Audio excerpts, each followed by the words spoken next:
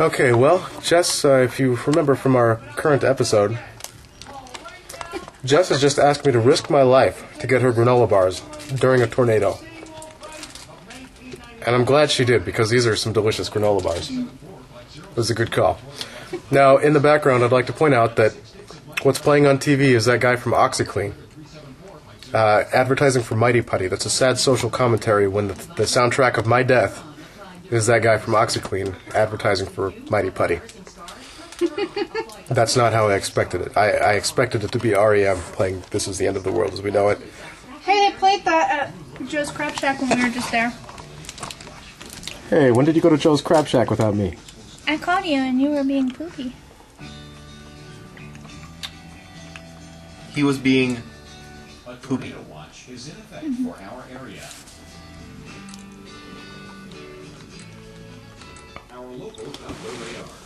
Dog seems unaffected by the threat of a tornado ripping through our house at hurricane speeds. I don't know. He's hiding under a blanket.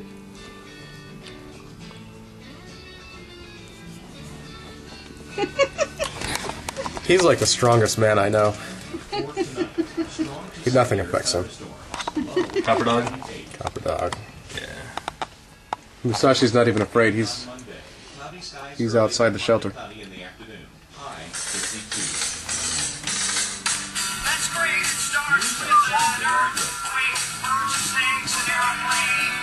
Lenny Bruce is not afraid. Lenny Bruce is not afraid. Neither am I. It said "Eye of the Hurricane," and then it starts beeping over there. This is certainly the end. It must be. Pray for us, people.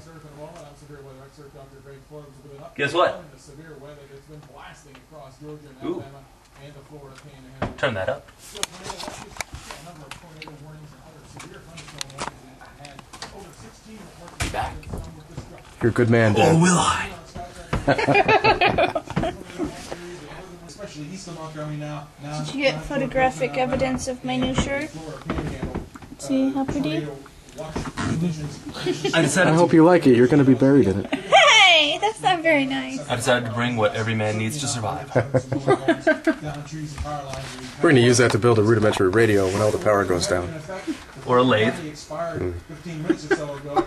according to warning that was All you need is a lathe. Rudimentary lathe.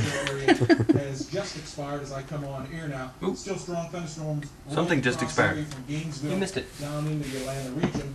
And uh, earlier there had been. We beat the monsters, people. Within that, but at the moment, the severe and uh, tornado warnings have expired. I'll show Oh, you the sweet. Doppler radar Yeah. uh, for the uh, storm. And earlier, I we hear playing, a pretty well "Where's the uh, tornado?" Rotation signature that came up is S-shaped pattern where it surges eastward. There's possibility of damaging winds there with that. Uh, and uh, we also Hi. have uh, some tornado possibilities I'm with that. picking I'll this blanket apart You see in boredom. here in red uh, within that circulation, possible tornado there, Barber County. So, there's actual warning of So who do we trust? We trust the internet with our lives, or we trust the local news weathercaster? That's not local though. That's uh, international. No, national. National. However, the National Weather Station is local. That's it. All right. Well, the plot thickens. We must make a decision. The TV says it's safe to go back outside of our shelter, but the internet says we should stay here because tornadoes are still active. What do we do? And in both cases, both cases we're relying on the weatherman. And as we all know from popular movies and history, since when can the weatherman break the weather? I make the weather. okay, people. Uh, this is a life or death situation, so I think we're going to rely on your vote. If you'll just text 123 Tornado 1 if we should stay inside the shelter, 123 Tornado 2 if we should leave. Our lives are in your hands. The To understand why the Amish unplugged from the grid is to understand why they live the way they do. The Amish You married unplugged. him. That's all I can say. The Amish unplugged from the grid. And there isn't probably any better That does not make them immune to tornadoes. illustration we are with everyone else. They might not even know a tornado's coming because they've unplugged from the grid. If we accept all those, our lifestyle soon will be just like all the other people in the world. It's a copper dog. It's disturbing on video. United States from Europe in the 17th and 18th It's an alien. Their religious practices practices were different, but not their lifestyle. But when they originally came here, as far as the dress, there was still very little difference. The Industrial Revolution in the late 18th century, with its trains, cars, Daddy, and telephones, forced the Amish to make a choice. He made you appear. substantial Not very nice of Copper dog, we exposed you. Oh, look at that face. We exposed him to the tornado. Tuck that ear.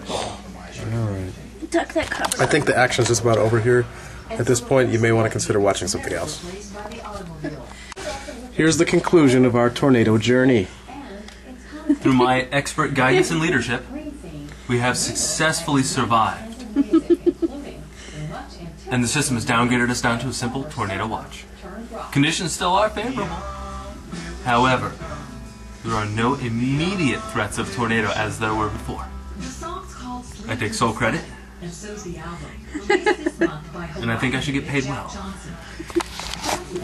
I don't know if we caught this on video, but Dan was appointed the tornado captain because of his experience. Uh, we had interviewed several qualified candidates, including myself and Jess. And Copper Dog even applied, but didn't make it on account of he doesn't talk. And he, Although so his resume was quite impressive. it was it was much more impressive than Jess's, Hey! who websites including not just who wanted us to vacuum the floor before we came back into our emergency shelter. I'd like to point out this is my wife, the same one who, when we went out backpacking in the woods in bear country, she brought sanitary wipes that were berry flavored. that's playing. Berry flavor. Uh, so good. Dan's job has been admirable. However, I'd like to note that when I went to peek out the window, most of the windows of the neighbors showed me neighbors in their couches watching TV comfortably, not behind a tornado shelter. I would like to point out that when that when a tornado rips through an area of Kansas, particularly someplace like say Greensburg, and decimates the entire city of 1600, seven people die. Two years ago, When a tornado comes through Atlanta, as it did a couple weeks ago, um, it kills 50 because people just don't know what to do or don't care. Um, and it was a small tornado in comparison. And faithful viewer, I can only close by saying, Dan, you're not in Kansas anymore. Podcast out.